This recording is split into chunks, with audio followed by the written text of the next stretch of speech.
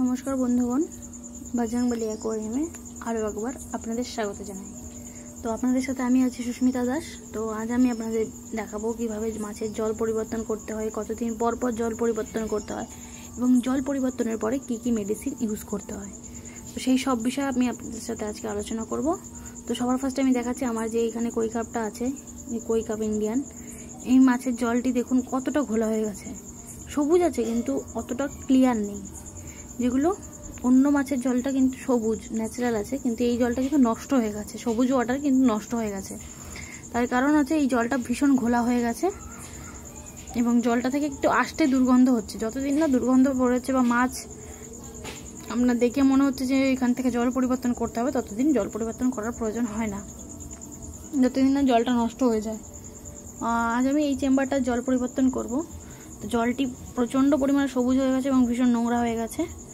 তো সবার ফার্স্ট আমি জল ছেড়ে দিয়ে আসব। ওই সাইড থেকে আমার যে নালা করা আছে, যে কল লাগানো আছে, সেই কল দিয়ে আমি জল ছেড়ে দিলাম। আর পাশে একটা নেট দিয়ে দিলাম, যেহেতু এখানে প্রচুর মাছ আছে। তো নেট দেওয়ার কারণে মাছগুলো বেরোলেও আমার জালে আটকে থাকবে।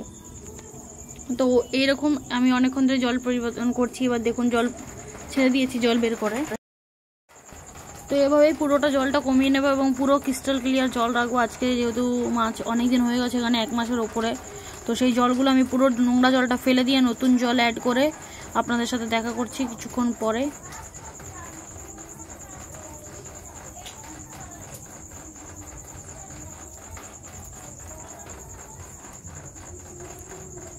জল কিন্তু অনেকটা কমে গেছে এখান থেকে দেখুন কি পরিমাণ মাছ বেরিয়েছে, আপনাদের দেখিয়ে দিই একটু।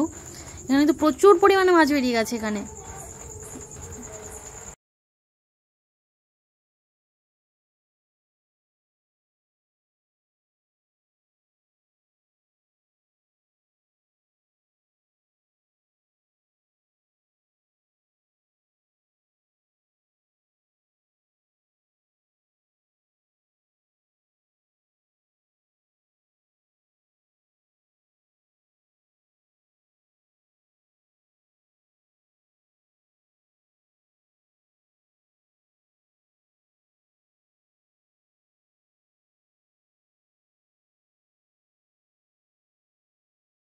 বেরিয়ে যাওয়ার পরে পুরো জল বার করে দেওয়ার পরে এখানে হচ্ছে আমার অবশিষ্ট নোংরা এবং অবশিষ্ট মাছ যা আছে, সেই মাছগুলো এখানে রয়েছে।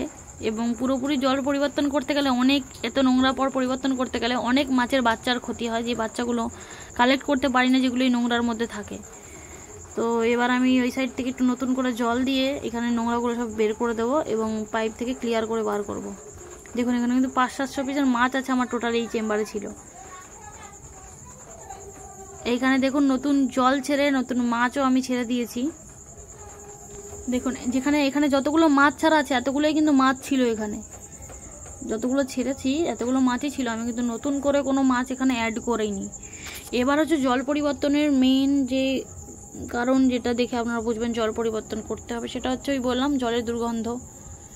আর জল পরিবর্তন করে কি মেডিসিন আমি ইউজ করি, সেটা হচ্ছে মেডিসিন বলতে কিছুই না, এই রক সলটা এই রক সলটা আছে, এটাই আমি দিয়ে দেবো সামান্য পরিমাণ। মানে যতটা আমার দরকার যেটুকু মাছের ক্ষেত্রে, সেটুকু দিয়ে দেবো আমি রক সলটা মাছ ছাড়ার পরেও দিতে পারেন, মাছ ছাড়ার আগেও দিতে পারেন, কোনো রকম কোনো অসুবিধা। আমি এটা থেকে ভোগ করিনি।